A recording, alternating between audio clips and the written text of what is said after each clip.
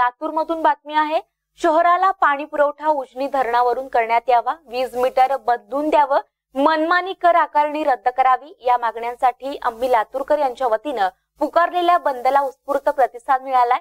हा बंद लातूर शहरातील सर्व संघटना आणि पक्षाच्या वतीनं पुकारण्यात आलाय.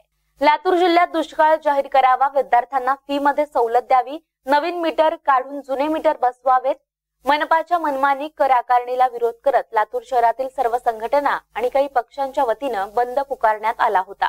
त्याला उत्स्फूर्त असा प्रतिसाद मिळालाय. सर्व व्यापाऱ्यांनी आपली दुकानं बंद ठेवली होती. सरकार आणि प्रशासनाचा निषेध यावेळी करण्यात आला. मागण्या मान्य नाही झाल्या तर प्रसंगी शहीद होऊ असा इशारा देखील लातूरकरांच्या वतीनं देण्यात आलाय. नागरिक कृती समिती आणि आम्ही लातूरकरांच्या वतीनं जो लातूर बंद पुकारलेला याची अनेक कारणं आहेत. परंतु आज जनतेच्या जिव्हाळ्याचा जो प्रश्न आहे मा लातूर महानगरपालिकेनं मालमत्ता करामध्ये भरमसाठ वाढ केली.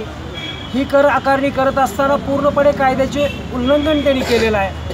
त्याचबरोबर महावितरणनं गेली चार पाच महिन्यापासून सदोष मीटरद्वारा मीटर बसवून त्या माध्यमातून करोडो रुपयांचं वाढीव वीज बिल लातूरकरांच्या माथी मारलेलं आहे.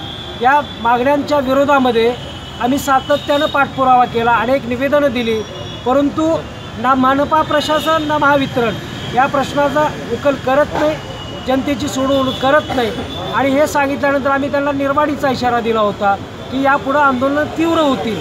परंतु आज आम्ही शांततेच्या माध्यमातून आज हे आंदोलन करतो आहे आमचं म्हणणंच हे आहे की महावितरणनं सदोष मीटर बिल काढून टाकावेत.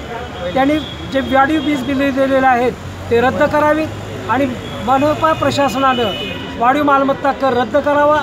याचबरोबर लातूर शहरामध्ये जी भाडेवाढ त्यांनी केलेली आहे नगरपालिका दुकानदारांची ती भाडेवाढ रद्द झाली पाहिजे.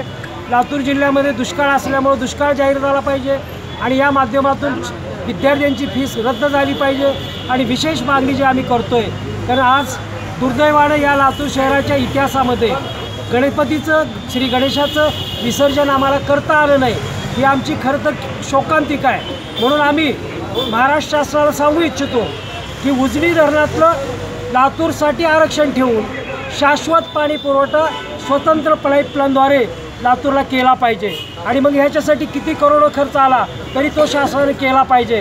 परंतु महाराष्ट्राचे मुख्यमंत्री याबद्दल बोलायला तयार नाहीत.